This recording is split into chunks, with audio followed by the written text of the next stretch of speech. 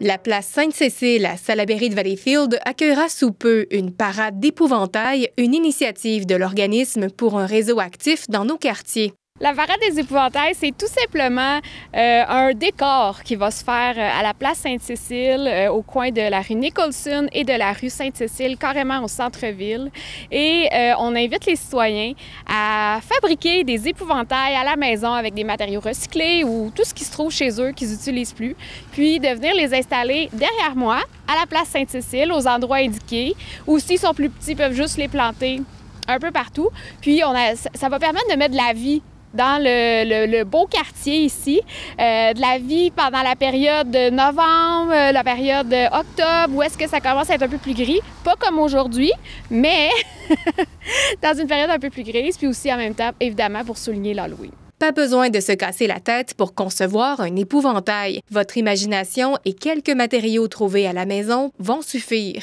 Ben oui, tout à fait. Pour fabriquer vos épouvantails, c'est super simple. Vous pouvez prendre une tête d'oreiller, vous la bourrez avec euh, des vieux journaux pour faire une tête. Vous pouvez prendre euh, des vêtements. Vous pouvez prendre. Euh, on a derrière nous des vieux sonotubes en carton, mais c'est sûr que pour l'extérieur, c'est mieux en plastique. Mais moi, pour faire le mien qui est juste ici, j'ai pris des tubes de plomberie pour faire le corps, faire un X.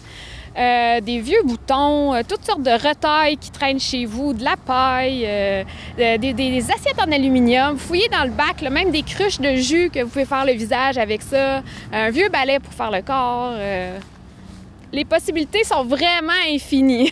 Si vous apportez votre épouvantail à la place Sainte-Cécile d'ici le 16 octobre prochain, vous pourrez participer à un appétissant concours. En fait, si vous voulez participer au concours, vous devez venir porter votre épouvantail entre aujourd'hui et le 16 octobre.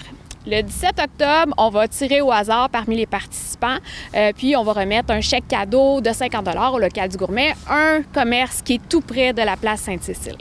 Puis pour participer, il faut simplement euh, venir porter votre épouvantail, prendre une photo, nous l'envoyer par euh, courriel ou par notre page Facebook.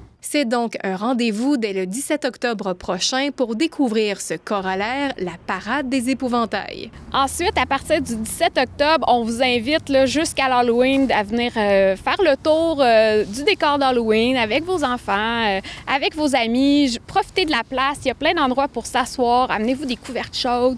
On a mis des lumières, donc vous pouvez juste venir voir les œuvres que la communauté est capable de créer ensemble pour embellir le quartier.